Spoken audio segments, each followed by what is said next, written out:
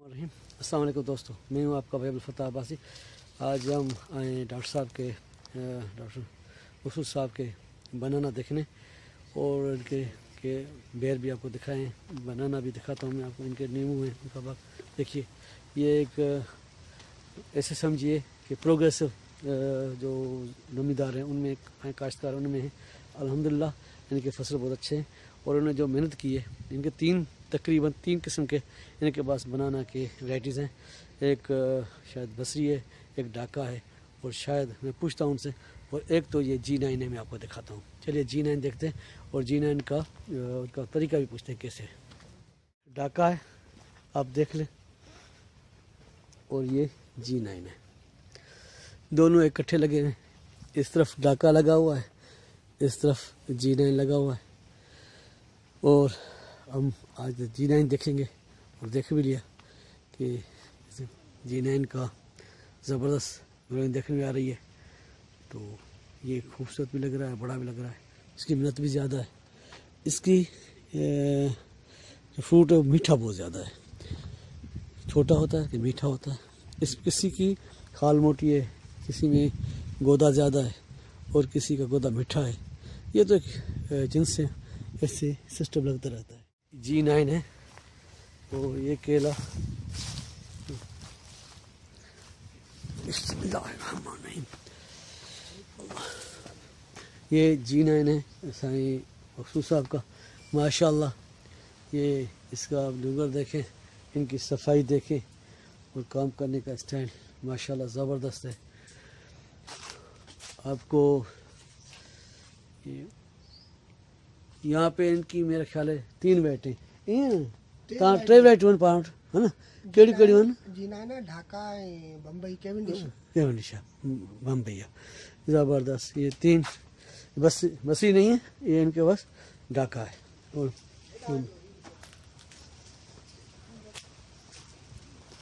یہ ماشاء اللہ سندھی میں اس کو ڈونگر کہا جاتا ہے۔ اور یہ ایکچولی اس کی سائزنگ اور اس کے ورائٹی پہ ڈپینڈ کرتا ہے کہ یہ، اس کی کھاد بھی اس کے پہ ڈپینڈ کرتا ہے، کھاد کتنی دی جاتی ہے اور اس کے سفاظ کیا جاتے ہیں یہ تقریباً کو میں سمجھتا ہوں ان کی کھاد دگنی ہوگی دوسرے بنانا سے، تاکہ ان کو صحت اور اس کی سائزنگ اچھی ہونے کے لیے اس کی سخت ضرورت پڑتی ہے ہمیں۔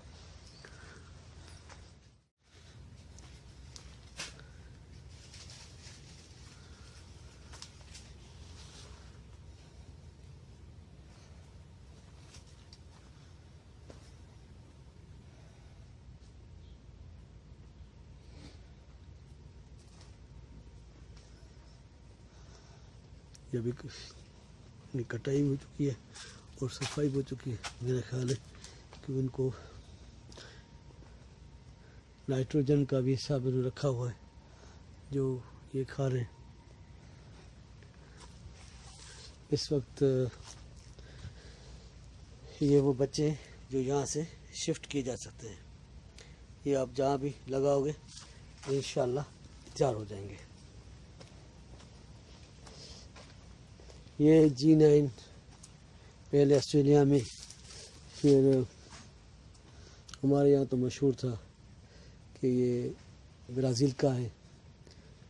لیکن ماشاء اللہ پاکستان میں اور سندھ میں تو بہت کامیاب ہے دوستو، یہ سندھ کے زمیندار ہیں۔ اور آپ دیکھیں اسی سے پیچھے نہیں ہے پاکستان کو، یہ پاکستانی لوگوں کو یہ نہیں سمجھا چاہیے کہ ہم کسی سے پیچھے ہیں۔ پاکستان ہمارے حساب سے ہر ورائٹی کا، اس کی زمین اس ہر ورائٹی کی کائلیں اور ہم ہر چیز اگا سکتے ہیں اور آپ ان کی سائزنگ دیکھیں۔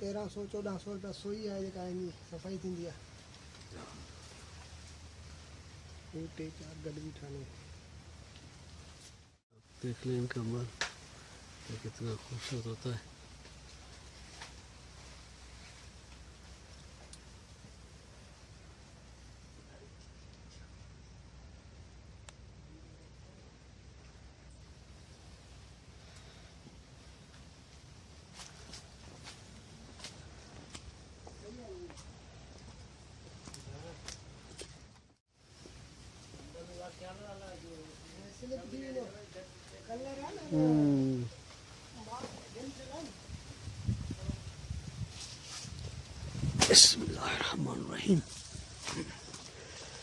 یہ بتا رہے ہیں کہ خیال سے اترنا۔ ماشاء اللہ تبارک اللہ۔ آپ یہ کیلا دیکھ لیں۔ آپ اس کو کو مزہ آ جائے گا انشاءاللہ۔